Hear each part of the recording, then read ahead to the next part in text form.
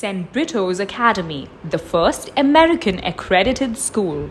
Serial actress Rachitha Mahalakshmi தன்னோட கணவர் எனக்கு ரொம்ப ஆபாசமா மெசேஜ் அனுப்புறாரு கொலை மிரட்டலும் விடுறாரு அப்படின்னு சொல்லி போலீஸ் நிலையத்துல போய் ஒரு கம்ப்ளைண்ட் ஒன்று கொடுத்திருக்காங்க. அந்த ஒரு விஷயம் ரொம்ப பரபரப்பா பேசப்படுது. விஜய் டிவில ஒளிபரப்பான சரவணன் மீனாட்சி சீரியல்ல ரொம்பவே பிரபலமானவங்கன்னா ரச்சிதா மகாலட்சுமி. அதுக்கப்புறமா இவங்க பிரிவோம் சந்திப்போம் அப்படின்ற சீரியல்ல தான் கூட ஒர்க் பண்ண தினேஷ் அப்படின்றவரை சில வருஷங்களுக்கு முன்னாடி காதலிச்சு திருமணம் செய்துட்டாங்க திருமணம் முடிஞ்சு போரூர்ல இருக்கக்கூடிய ஒரு அபார்ட்மெண்ட்ல இவங்க ரெண்டு பேருமே வாழ்ந்து வந்தாங்க. இந்த நிலையில கடந்த ரெண்டு வருஷத்துக்கு முன்னாடி ரெண்டு பேருக்கும் மேற்பட்ட கருத்து வேறுபாடு காரணமா கணவன் மனைவி ரெண்டு பேருமே தனித்தனியா வாழ்ந்து வந்த நிலையில கடந்த ஆண்டு ஒளிபரப்பான பிக் பாஸ் நிகழ்ச்சியில ஒரு கண்டஸ்டன்டாவும் கலந்துக்கிட்டாங்க அந்த நேரத்துல ரக்ஷிதா அவங்களுக்கு தினேஷ் அவர்கள் பயங்கர சப்போர்ட்டிவாவும் இருந்தாரு. பிக் பாஸ் முடிஞ்ச பிறகும் இவங்க ரெண்டு பேரும் கண்டிப்பா ஒன்னா சேர்ந்து வாழ்வாங்க அப்படின்ற மாதிரியும் ரசிகர்கள் எதிர்பார்த்துட்டு இருந்தாங்க. ரக்ஷிதா அவங்களுமே சோசியல் மீடியால பயங்கரமா ரீல்ஸ் போடுறது போட்டோஸ் போடுறதுன்னு பயங்கர ஆக்டிவாவும் இருந்தாங்க. இப்படி ரொம்ப இயல்பா போயிட்டு இருந்த இவங்க வாழ்க்கையில என்ன நடந்துச்சுன்னு தெரியல. நேற்று திடீர்னு ரட்சிதா மாங்காடு அனைத்து மகளிர் போலீஸ் நிலையத்துல ஒரு புகார் ஒண்ணு கொடுத்திருக்காங்க. அதுல நான் தினேச பிரிஞ்சு தனியா வாழ்ந்துகிட்டு வர்ற நிலையில கொஞ்ச நாளாவே எனக்கு செல்போனுக்கு